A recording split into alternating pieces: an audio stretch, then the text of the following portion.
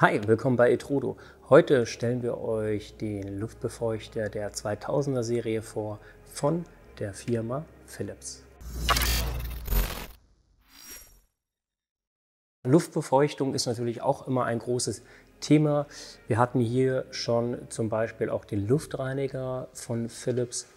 Einmal zur Vorstellung, ja, und heute eben auch mal Luftbefeuchter. Entfeuchter haben wir natürlich auch schon gezeigt, von Maxwell zum Beispiel. Naja, aber manche Leute haben auch zu trockene Räume. Das gibt es auch. So, und da gibt es dann dieses Gerät zum Beispiel von Philips und ja, sehr leicht aufgebaut, muss man erstmal sagen. Super leichte Bedienung. Hier oben ähm, haben wir dann ein Display, was wir dann schön einstellen können hat einen recht geringen Stromverbrauch von knapp unter 30 Watt, 6, 27 Watt im Maximalbetrieb. Ja, und wie das alles funktioniert, zeige ich euch jetzt. Der Luftreiniger ist zweiteilig aufgebaut. Wir haben einmal ja, den oberen Teil und den unteren Teil, wo das Wasser reinkommt. Und das seht ihr hier. Ganz angenehm ist übrigens, wir haben hier quasi den Schwamm, nenne ich ihn jetzt mal, den können wir hier einfach abziehen und vor der erstmaligen Benutzung müssen wir diesen 30 Minuten ja, in Wasser einlegen und einmal einweichen. Dann einfach rausnehmen und hier drauf stecken. Ja, und dann können wir hier Wasser reinfüllen. Bitte pass auf, nicht zu viel Wasser reinfüllen, sonst läuft das hier durch die Gitter natürlich wieder raus. Das heißt, wir haben hier eine Maximalanzeige, das heißt hier dann Wasser rein. Kaltes Wasser, bitte kein heißes Wasser, auch keine Duftstoffe, wirklich nur reines Wasser. Was unterscheidet denn dann den Philips Luftbefeuchter vielleicht von anderen ja, Konkurrenzprodukten, anderen Marken? Einmal kommt hier Nanotechnologie zum Einsatz. Was heißt das? Ihr kennt doch hier sehr günstige Luftbefeuchter zum Beispiel, wo man auch so Duftzeug reinmachen kann und kommen dann immer richtige Fontänen. Da ist dann der Nachteil erstmal, dass richtige Wasserpartikel, also richtige ja, Fontänen, sich dann wieder absetzen. Das heißt, drumherum wird es vielleicht feucht. Ähm, das geht in Klamotten, es geht in die Teppiche, auch die werden feucht. Das passiert hier eben nicht. Wir haben hier eine richtige Luftsäule, die sehen wir nicht. Und die Luftfeuchtigkeit wird richtig verteilt im ganzen Raum und das kann dieses Gerät unheimlich gut. Das heißt, ihr werdet schon, wenn ihr Luft ähm, ja, ähm, Luftfeuchtigkeitsmesser mal im Raum aufstellt, also auch nicht direkt nebenan, sondern auch mal fünf Meter weiter weg, dann werdet ihr sehen, oh, nach wenigen Minuten steigt dort die Luftfeuchtigkeit auch an. Das heißt, auch in weitere Ecken um, kommt dieser Luftbefeuchter unheimlich gut. Und es ist auch so, dass nicht gerade im Umkreis von ein bis zwei Metern die Luftfeuchtigkeit am höchsten ist. Nein, sie ist wirklich eher höher, je weiter weg man von dem Gerät ist. Und das ist der größte Unterschied zu den Konkurrenzprodukten, dass er das unheimlich gut kann und einen Raum sehr, sehr gut befeuchten kann, sehr gleichmäßig befeuchten kann und eben nicht nur regional um das Gerät herum.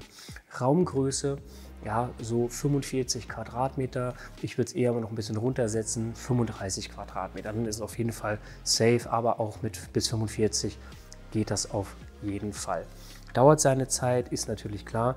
Ähm, bitte natürlich auch, wenn ihr das Gerät laufen habt, ähm, Türen und Fenster geschlossen halten. Klar, sonst befeuchtet ihr die ganze Wohnung oder das ganze Haus und dann läuft das Gerät Ewigkeiten. Reinigen müsst ihr den hier auch. Empfohlen wird einmal die Woche. Einfach abziehen, dann in Wasser einlegen, eine Stunde lang. Ihr könnt ein bisschen Essig noch mit reinmachen, ja, rausnehmen, unter fließendem Wasser abspülen, nicht auswringen oder ausdrücken, sondern dann nass einfach wieder draufsetzen, reinsetzen, ja, und dann geht es auch weiter. Philips sagt so alle drei Monate den austauschen, einen neuen kaufen. Wir haben Wasser reingefüllt. Natürlich bitte nicht hier oben Wasser reinfüllen, sonst ist das Gerät sofort kaputt. Also wirklich hier nur unten das Gerät einmal abmachen, die Elektronik und dann hier bis zur Maximalanzeige. Der Schwamm war eine halbe Stunde jetzt auch im Wasser, ist aufgeweicht. Und wenn hier zu wenig Wasser ist, dann blinkt er auf und sagt, hey, hey, hey, hier roter Tropfen, wir brauchen Wasser. So, dann einfach draufstecken wir haben hier vier Schalter, einmal den Power-Modus, dann einmal können wir die Luftfeuchtigkeit einstellen, 40, 50, 60 Prozent und wir können den Speed einstellen. Dort haben wir den Automodus, den Sleep-Modus dann einen mittleren Modus und den Vollpower-Modus. Dann können wir einstellen den Timer zwischen einer Stunde, vier Stunden und acht Stunden. Ja, und das war es schon von der Bedienung. Also super einfach, wie ich finde. Genau, und jetzt hören wir, jetzt haben wir ihn auf maximaler Lautstärke. Ich finde es in Ordnung. In der Regel hat man den ja auch so nicht laufen, wenn man im Raum sich befindet. Ich finde es aber noch, es ist angenehm. Ähm, Im Schlafmodus, jetzt wir erstmal im Automodus, dort stoppt er in der Regel bei 50 Prozent. Also sobald 50 Prozent im Raum erreicht sind, ähm, ja, hört er dann auf. Wir haben natürlich auch den Messer. Wir haben jetzt hier aktuell 61 Prozent Luftfeuchtigkeit. Das heißt, jetzt muss er so natürlich nicht mehr laufen. Ähm, ich kann 60 einstellen oder ich stelle nichts ein. Dann, wenn ich hier keine Luftfeuchtigkeit einstelle, dann stoppt er im Automatikmodus bei maximal 70 Prozent. Ja, also ihr seht, ein sehr einfach zu bedienendes Gerät. Stromverbrauch ist äh, ziemlich gut. Ich finde, die Lautstärke ist auch noch in Ordnung. Es gibt leisere Geräte, aber ich finde, das hier ist ähm, ja, eine, eine, gute Lautstärke. Gerade im Sleep-Modus hört man den dann gar nicht mehr ähm, oder fast gar nicht mehr. Timer kann man setzen, also alles super einfach. Und das Wichtige ist, ja, er kann halt den Raum extrem gut befeuchten. Wir haben nirgendwo nasse Stellen ähm, oder irgendwelche Spots, wo die Luftfeuchtigkeit viel, viel höher ist oder gerade um das Gerät viel höher ist als dann weiter weg vom Raum. Nein, hier ist es sogar andersrum.